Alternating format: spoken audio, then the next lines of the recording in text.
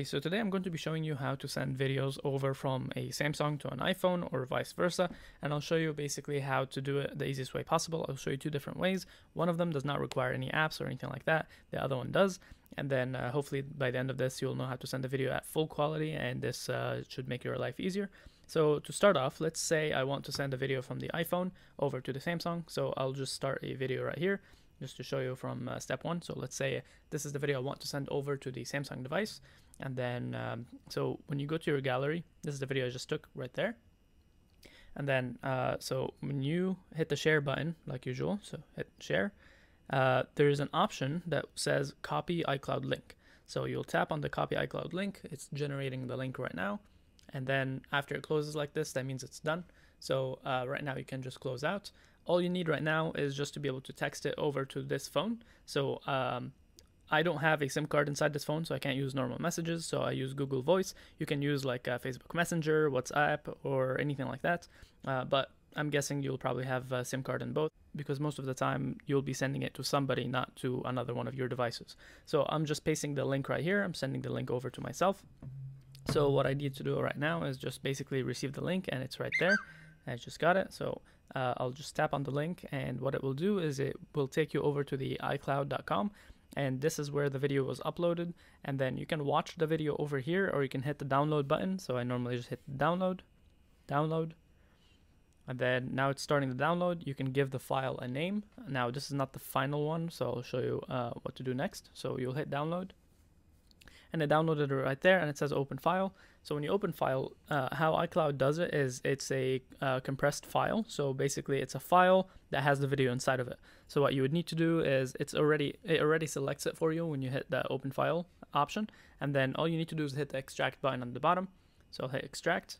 You can give it a name right now. So extract. So this is the actual file where you tap on it and this is your video. So if you tap on it, and uh, I'll show you right here, if I hit the three dots up top and I hit details, you'll see that the video was sent over on 4K quality, 30 FPS, which is, this is what I had this one set up for. So it's sending it at absolutely full quality. All right, so next up, we need to send a video from the Samsung over to the iPhone. So let's make our video right here. I'll start videos and I'll just take a random video where I'm taking a video of the phone.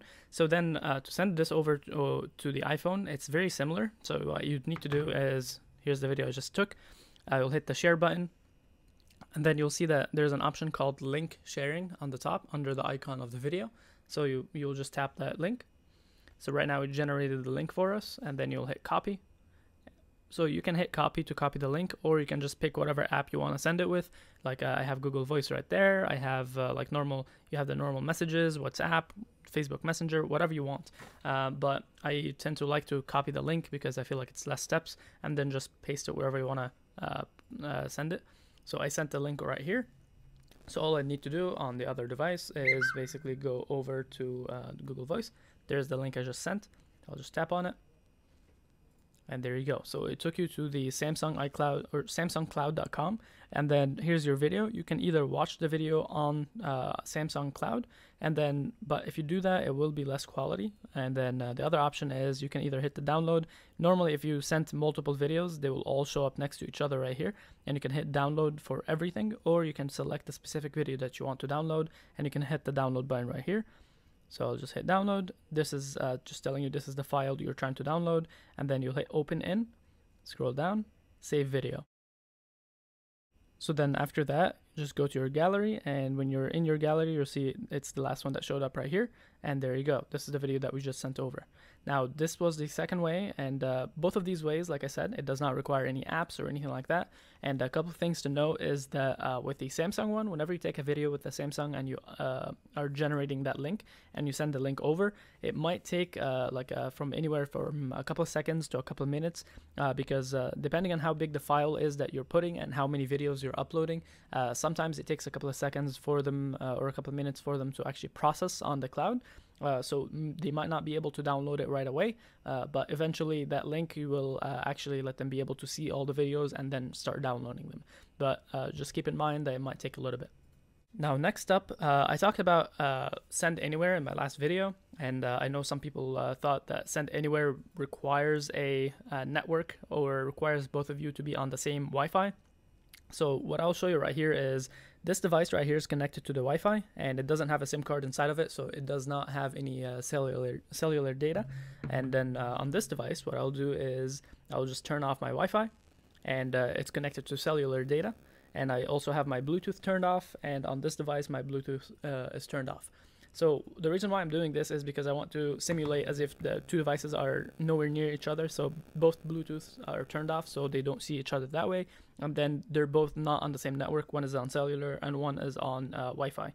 And then after that, I'll open the app for uh, Send Anywhere and then uh, and this is actually easier but it depends because a lot of people don't like to download a new app to uh, be able to just send a video or something like that. So uh, but i tend to prefer it because i feel like it's faster and it's easier less steps.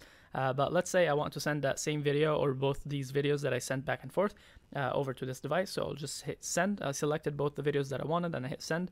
And then uh, normally, if you're nearby that person, you can scan that QR code. But if you're far away from that person, let's say they're somewhere else, uh, then all you would need to do is uh, when you're on receive, you can just put the uh, code right here, which uh, you can text them that code. So it's 226085 uh, receive.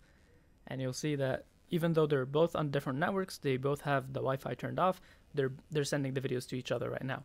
So I initially thought that the app was actually uh, sending it over the network, just like uh, people in my comments were asking. Uh, but it turns out it actually does it. Uh, I'm assuming by upload uploading it to a specific cloud and then downloading it onto the new device. Uh, but it works that way. It's pretty easy, and you can do it the same way uh, around as well. You can hit send, and then you can pick the same two videos that you wanted, and then send, and then it will give you the link same way. And over here, you'll go to the receive tab on the bottom and you could put in your number and it will download it the same exact way. So those are the best two ways I found so far for sending uh, videos back and forth between two devices uh, when you don't have to be near that person. And uh, yeah, if you have any other questions and uh, or any concerns or anything I missed, let me know down in the comments. I hope you enjoyed this video or got something uh, helpful out of it. Don't forget to like, subscribe, and uh, yeah, peace out.